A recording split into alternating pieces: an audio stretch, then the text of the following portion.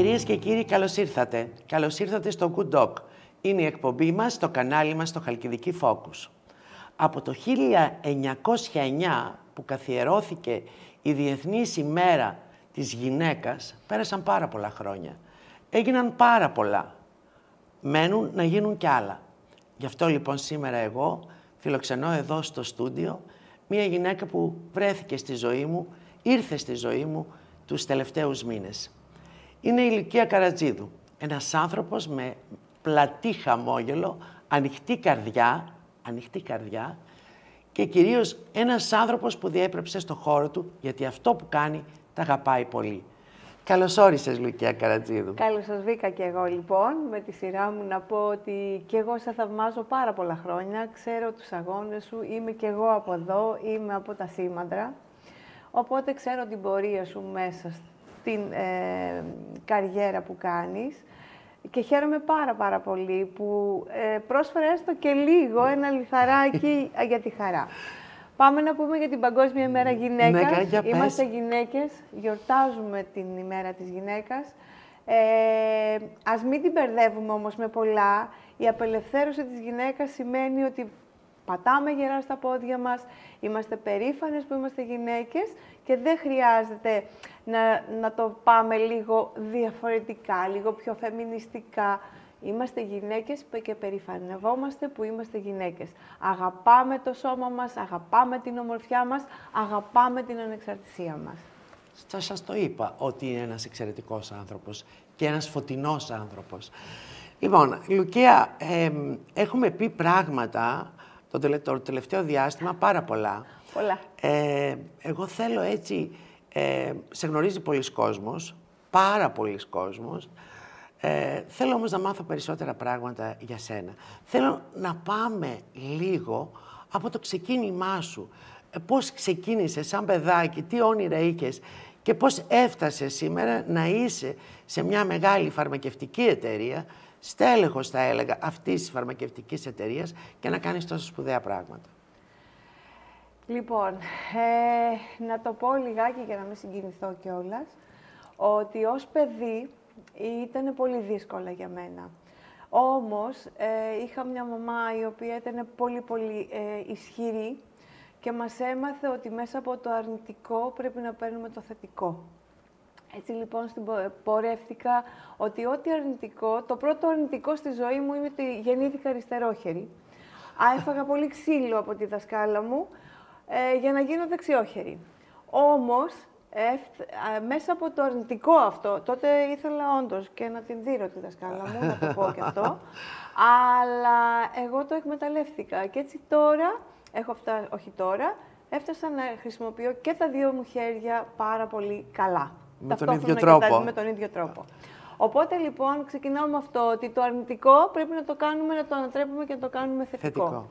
Ε, από εκεί και πέρα ξεκίνησα κι εγώ, όπως όλα τα παιδιά, να έχω κάποια όνειρα. Ε, η αισθητική, η κοσμετολογία, το μακιγιάζ ήταν το χόμπι μου τότε. Ε, όμως το χόμπι με κέρδισε. Βρέθηκα στη ζωή μου, βρέθηκα με έναν από τους μεγαλύτερους make-up artists της εποχής εκείνης, τον Αχιλέα Χαρίτο όπου για να μην να τα πούμε και λίγο διαφορετικά, ένα κοριτσάκι από το χωριό, από τα Σήμαντρα, ξαφνικά βρέθηκα μέσα στα, να σου λέει ένας από τους μεγαλύτερους make-up artists ότι θέλω να γίνεις συνεργάτης μου. Νομίζω ότι ήταν η μέγιστη τιμή. Για μένα, ένα κοριτσάκι 22 χρονών, ε, γνώρισα πάρα πολλά, έμαθα πάρα πολλά.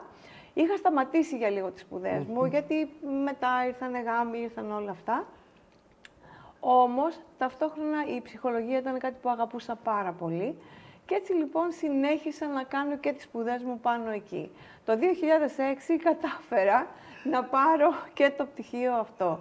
Ε, δεν το ασκώ, αλλά είναι ένα πτυχίο που με βοήθησε πάρα πάρα πολύ να εξελιχθώ ως άνθρωπος και ως ε, εργαζόμενος πάνω στο κομμάτι αυτό, ναι. η επαφή μου με τους ανθρώπους. Με βοήθησε πάρα πολύ. Πώς συνδέεται όλο αυτό, είναι η επαφή, ε, ε, επειδή ακριβώς το έχεις σπουδάσει, έχεις, έχεις σπουδάσει την ψυχολογία, σε βοηθάει να αντιλαμβάνεσαι τους ανθρώπους απέναντί σου και το τι έχει ανάγκη ο καθένας; Εννοείται πως βοηθάει. Οποιαδήποτε σπουδή, αυτό λέω και στα καινούργια παιδιά και στα παιδιά που βγαίνουν τώρα, ότι οτιδήποτε έχει να κάνει ε, με σπουδές επάνω σας, το μορφωτικό επίπεδο, είναι, είναι, φαίνεται στη, στη δουλειά και στον επαγγελματισμό. Μας βοηθάει το ένα με το άλλο.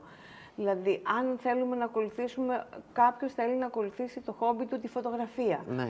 Θα κάνει τη φωτογραφία, αλλά και οι σπουδές που θα κάνει, το μορφωτικό του επίπεδο, θα τον βοηθήσει να αντιληφθεί πιο εύκολα κάποια άλλα πράγματα. Έτσι λοιπόν και εμένα με βοήθησε πάρα πολύ στην επαφή μου με τους ανθρώπους. Γιατί ε, το δικό μου επάγγελμα έχει να κάνει πάρα πολύ με την επαφή. Είναι επαφή. Ο άλλος μπορεί ακόμα και να σου ανοίξει την καρδιά του για κάποια πράγματα. Γιατί, γιατί θεωρεί Ε, ότι... Εκεί χαλαρώνει. Εκεί, Εκεί χαλαρώνει. Στα και χέρια είναι μας πιο- χαλαρώνει. Ναι. Ε, έκανα μια πολύ πολύ ωραία πορεία λοιπόν μέσα στο, στο επάγγελμά μου. Γνώρισα πάρα πολλούς ανθρώπους, ε, μου ήρθαν αρκετές τιμές, ε, όλα αυτά, με πολλή δουλειά, πολύ κόπο, κανέ, τίποτα δεν σου έρχεται εύκολα στη ζωή, τίποτα δεν χαρίζεται. Με το τελευταίο μου που φεύγω τώρα στις 27 και 28 Απριλίου ε, στο Ντουμπάι, στο, σε ένα μεγάλο masterclass, όπου θα ε, δείξω κάποια πράγματα για το μακιγιάζ. Είναι μέγιστη τιμή για μένα. Ε, και τα τελευταία περίπου 10 χρόνια ήρθε η φαρμακευτική, ήρθε ο τομέας το, το φαρμακευτικό στη ζωή μου, όπου αντιπροσωπεύω εγώ βέβαια το καλλιτικό κομμάτι. Η εταιρεία μας είναι μια πολύ σπουδαία εταιρεία και το καλλιτικό μας κομμάτι το γνωρίζεις κι εσύ. Και το βλέπετε Το κυρίες και βλέπεις, κύριοι. Το βλέπουμε γιατί σήμερα και το μακιγιάζ μας το έχουν επιμεληθεί τα προϊόντα της Bionique. Από εκεί και πέρα, εγώ θέλω να πω ότι η, γυναί η γυναίκα σήμερα, η σύγχρονη γυναίκα, ε, είναι μια πολύ άσχολη γυναίκα, τρέχει όλη μέρα για την οικογένεια, για το σπίτι, για την καριέρα.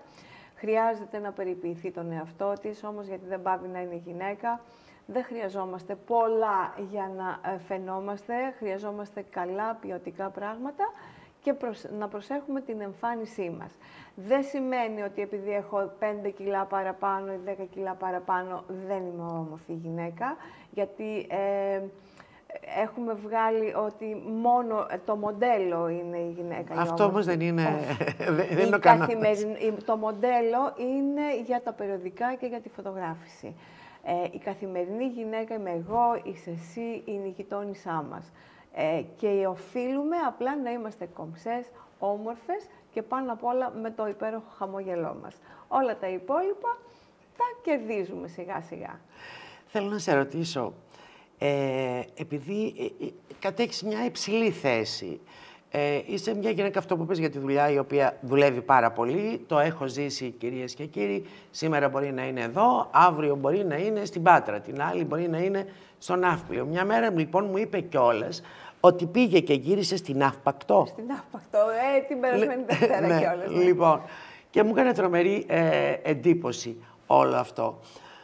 Ε, είχες δυσκολίες στο χώρο της εργασίας, μιας και σήμερα είναι η γιορτή της γυναίκας, είναι 8 του Μάρτη ε, και οι γυναίκες το γιορτάζουν, ακόμα και οι άντρες όμως.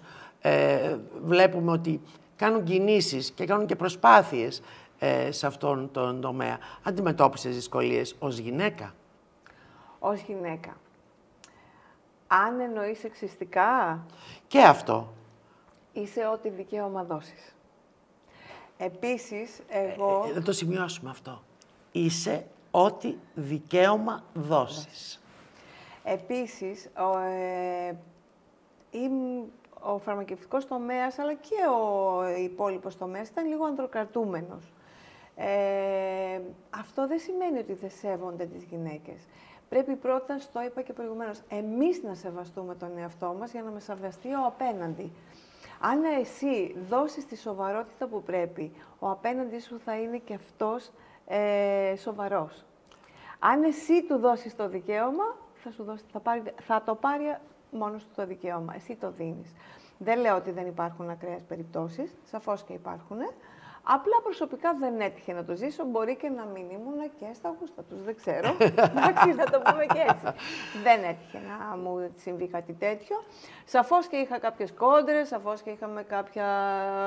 Αλλά είναι οι κόντρες που έχουμε όλοι στη δουλειά μας. Δεν αντιμετώπισα κάτι τέτοιο. Δεν θεωρείς δηλαδή αντιμετωπίστηκες διαφορετικά ναι, ως γυναίκα; σα ίσα που ε, με σεβάστηκαν και πάρα πολύ, μπορώ να πω. Προσωπικά. Μάλιστα. Γιατί δεν αρνούμε ότι υπάρχουν αυτά. Υπάρχουν. Θέλω να μου πεις, επειδή δουλεύεις πάρα πολλές ώρες, ταξιδεύεις πάρα πολύ, πώς μπορούν η οικογένεια και αυτού του είδους η δουλειά, που σημαίνει ότι φεύγεις πολλές μέρες, αρκετές μέρες, ε, αφήνεις το σπίτι κτλ. Πώς ε, τα καταφέρνεις και είσαι καλά και με τον σύντροφό σου και ε, τα καταφέρνεις. 34 χρόνια μαζί. λοιπόν, ε, είχα ε, στη ζωή μου, ο άνθρωπός μου ήταν και αυτός ένας άνθρωπος καριέρας. Τώρα βέβαια στη σύνταξη. Ε, όπου και εκείνος έτρεχε για την καριέρα και μάλιστα πολύ υψηλή καριέρα, πολύ πιο υψηλή από τη δική μου. Ε, ένας άνθρωπος που θαυμάζω ναι. κιόλας. Από εκεί και πέρα, όταν υπάρχει αγάπη, σεβασμός και κατανόηση μέσα σε μία οικογένεια, ε, έμαθα στη ζωή μου να περπατάω δίπλα στους ανθρώπους που αγαπάω, όχι μέσα από αυτούς. Είναι πολύ σημαντικό να περπατάμε δίπλα-δίπλα με τους ανθρώπους που αγαπάμε. Ε, να υπάρχει σεβασμός, να επίσης λέω πάντα ότι πρέπει να δίνουμε χώρο ένα στον άλλον, ε, γιατί υπάρχει μέρα που ξυπνάμε με τον ίδιο μας τον εαυτό και μαλώνουμε. Το ίδιο είναι και ο απέναντι, γιατί πρέπει ο απέναντι να είναι πάντα καλά; Και εμείς να μην είμαστε. Σωστά. Έτσι είναι αυτό. Από εκεί και πέρα, καλός διαχειρισμός στο χρόνο, γιατί εγώ πιστεύω στον επικοδομητικό χρόνο. Δεν έχει σημασία αν είμαστε 24 ώρες την ημέρα μαζί και είμαστε απλά, απλά υπάρχουμε μαζί. Ε, εκείνες οι δύο ώρες, η μία ώρα που θα είμαστε μαζί, εκείνη η ώρα να είναι η ώρα που πρέπει.